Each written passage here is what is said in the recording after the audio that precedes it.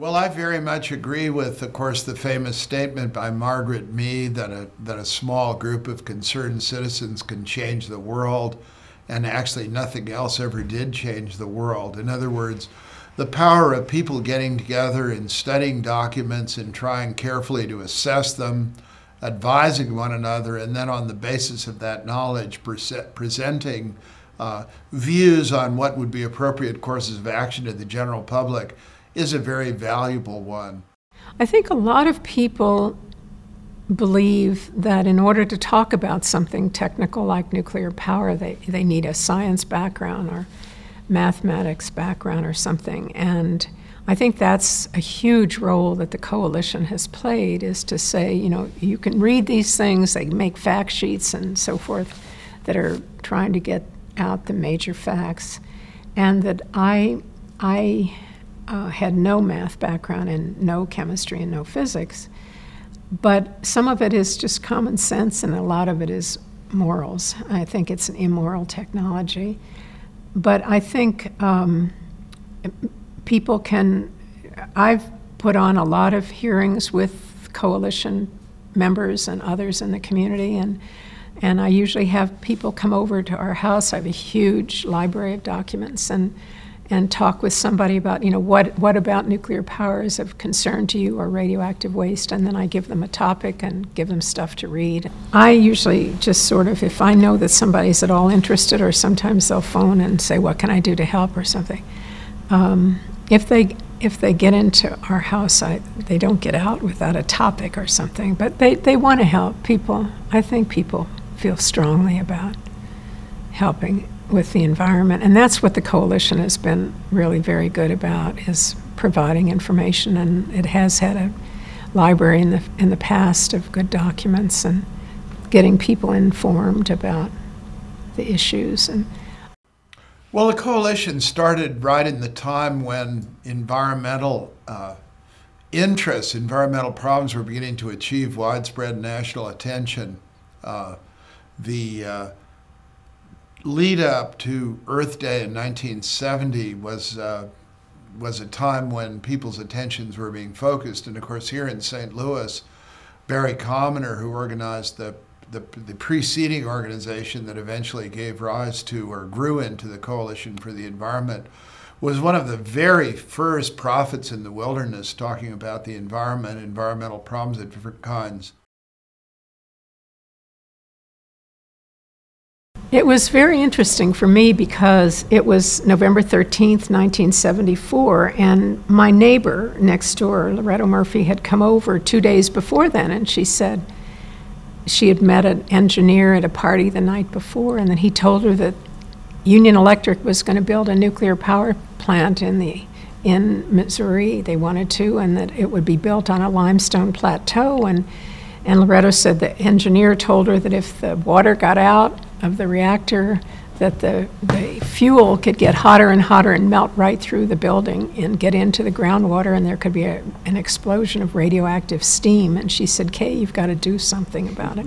So I, she went home, and, and then the next night I happened to meet, I saw somebody who asked if I was going to testify the next day at a hearing in Clayton, um, a Missouri Senate committee hearing. So I just read up as much as I could and wrote my speech from the back of the hearing room, as I usually often do, and um, have been working on it ever since because I really feel that, I mean, it's a, absolutely a dirty, dangerous, and expensive technology.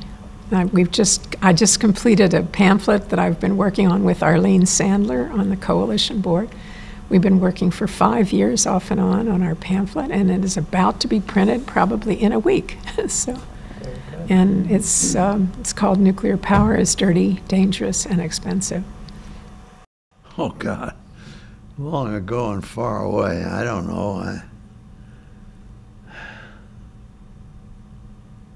I really don't know what. We started with the Open Space Council and. Uh, after it had been in existence a few years, we enlarged it by uh, establishing this second organization, Coalition for the Environment. The idea originally was to preserve a certain amount of open space undeveloped in the St. Louis region.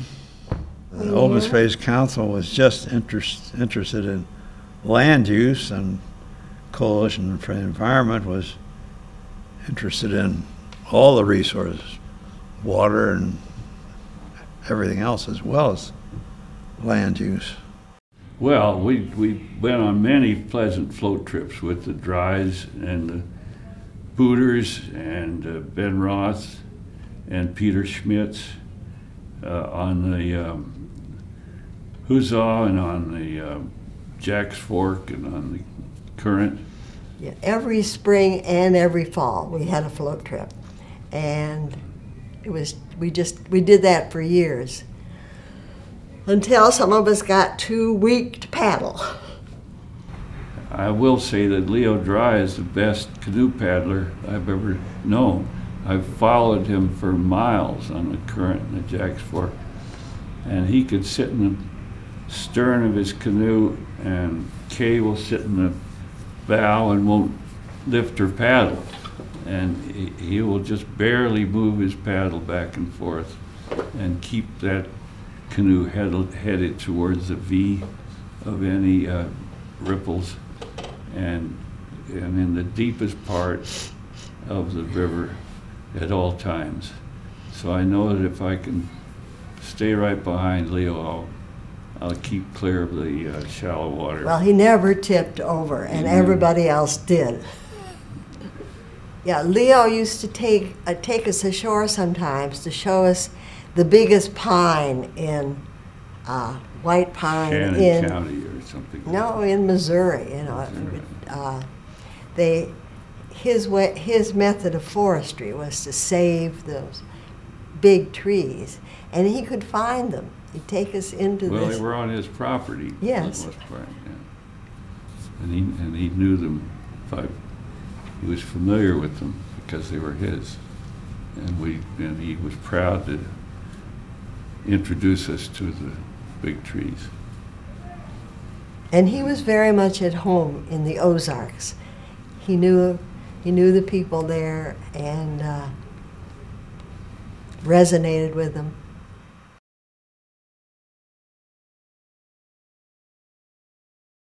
It stood, in, in my mind, as a uh, symbol and a representation of the interest the public had in the preservation of uh, open space, and, and I felt that it was uh, something to be supported and participated in. I think their efforts on clean air were most most important, Yeah. and uh, Lou Green was very involved with that. And they, it, the state did establish a clean air commission, or I'm not sure what it was called, but I think they took those steps because of the coalition. That's right, and, and Lewis Green, I think, was appointed by the governor as the first chairman of the Clean Air Commission because he'd had such a big part in uh, uh, getting that legislation adopted. At the very beginning of the coalition, I did all the mailing, and my kids helped, and the, the mailing was done from my dining room table for a couple of years, I think. I was like the secretary, and my kids got good at sticking envelopes and putting on stamps and things like that. And talk about that a little more. So it really was sort of a, a family affair for. Well, for a while, until we got an office. Well, this was when it was just first starting. And then eventually we got an office and, and we got a director. We collected a lot of signatures on petitions for various things, and we got all the kids involved in that. I think my children spent their childhood collecting signatures. Right, I guess I was eight when the coalition had its first meeting. It says October 11th, 1969. I guess that was my eighth birthday, but I don't remember that being where I celebrated my birthday, but it must have been. and I grew up stuffing envelopes And stamping them, I'm an extremely fast envelope stuffer now. And I can get the stamps, get them all lined up and do the stamps now too. I have to do some envelopes for Great Rivers now, and it's no problem. I have a good background in it. They talked about trying to preserve the land or floodplain that they were trying, that the coalition was working on then. And my father would come home and say, that darn judge, but he'd use probably worse words than that in my memory. And he, if, if he ever lost, it was that darn judge's fault. And that judge was no, no darn good. But he wouldn't say that. So we talked about uh, his cases quite a bit, I think, and the battles. And my mother, as the membership chairman, was on the telephone a lot, recruiting people to help.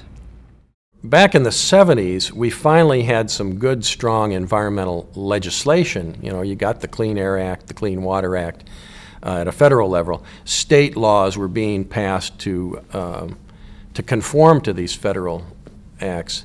And, um, and we had public commissions that were set up to monitor these things.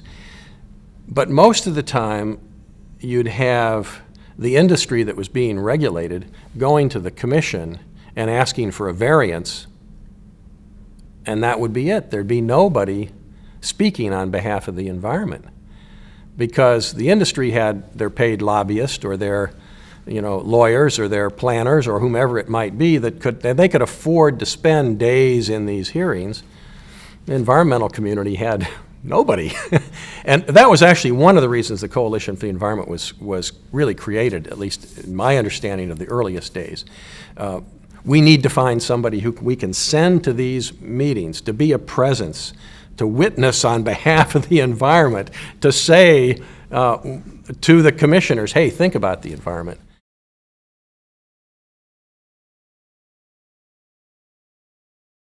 And there are really two ways uh, that the coalition, primary ways that I see that the coalition can have a positive impact. One is through if something is going astray, then calling attention to that through the media and to the general public. And hopefully, if, if enough members of the public learn about that, it will have political repercussions in terms of pointing out that no, most of the public doesn't agree with this decision.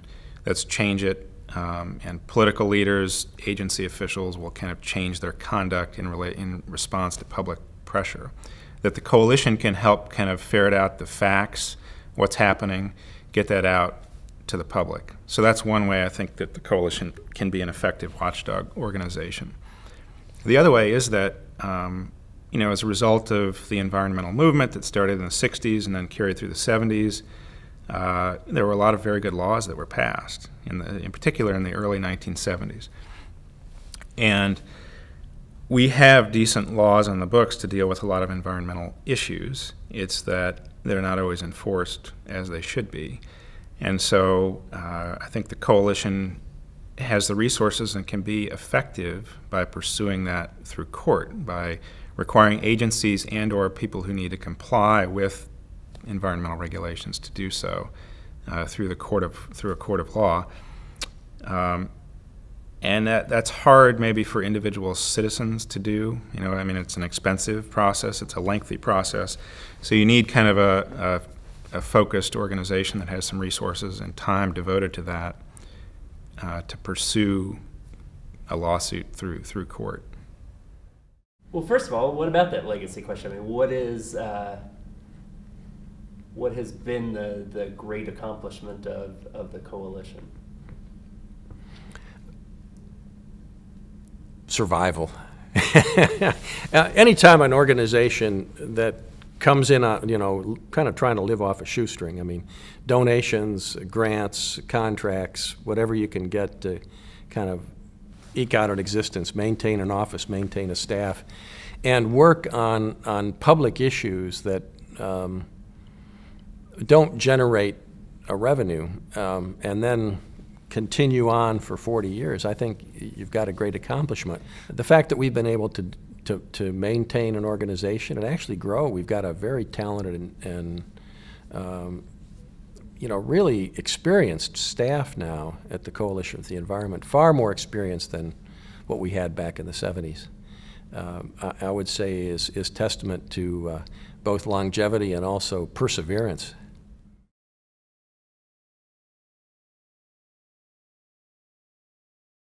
you know, Roger Pryor was, of course, the executive director for many years and a staff person before being executive director.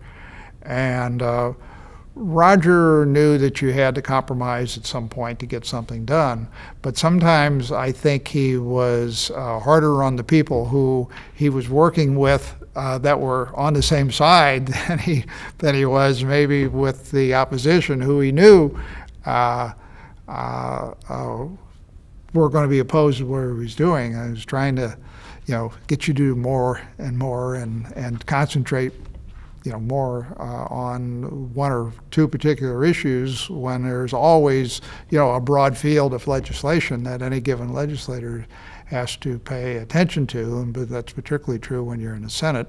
Solid waste uh, was a big issue at a particular point there uh, when Roger uh, was heading the uh, uh, coalition, so he was very much involved in that. But um, he was involved in everything. I mean, he had a real um, solid background on so many issues, and he, um, you know, he read a lot. He knew a lot. I mean, he he really devoted uh, um, lots of time, personal time, as well as uh, time as uh, director and staff of the coalition. So he uh, it, it would be hard to pick out one or two issues because he was just deeply involved with, uh, with everything.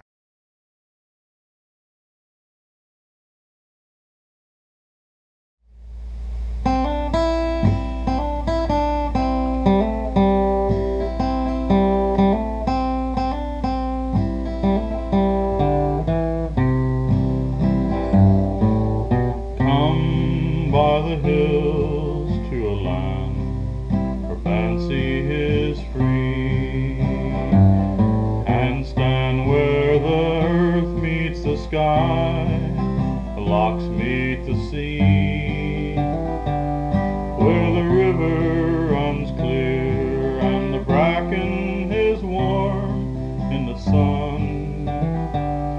And the cares of tomorrow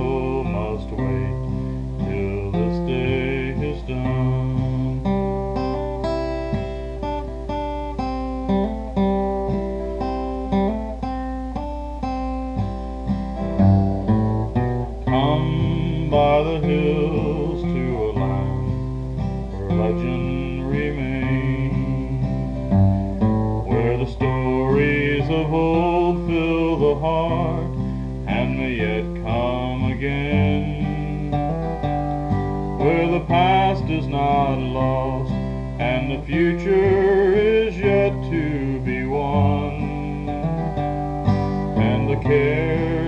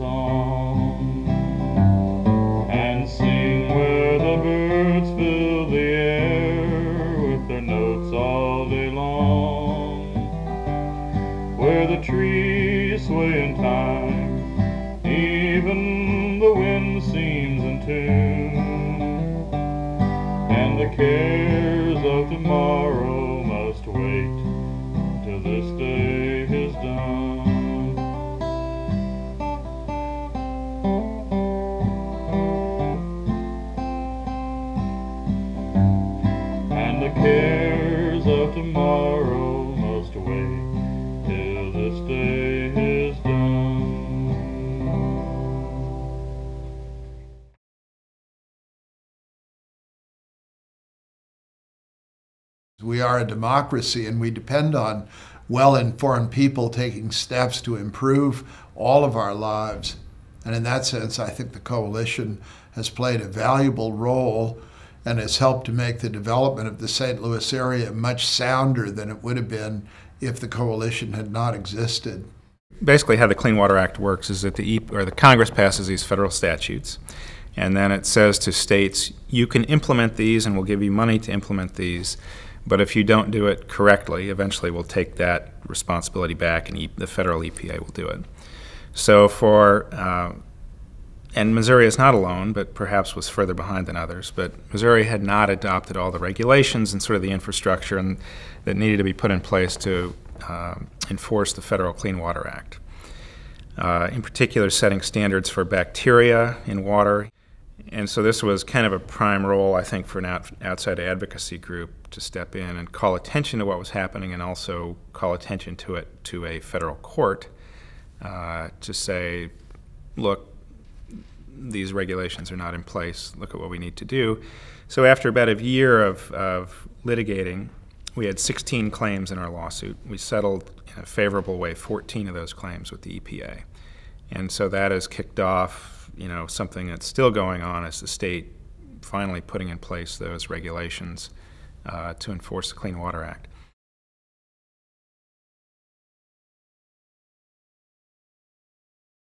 Uh, I first became involved with the Missouri Coalition for the Environment mostly through following my mother, Pamela Todorovich, uh, around to environmental uh, protests and organizing events. And the first that I remember is that we attended several meetings at the home of Kay Drey um, about uh, trying to stop the routine release of treated uh, water used at the Callaway nuclear power plant in outside of St. Louis.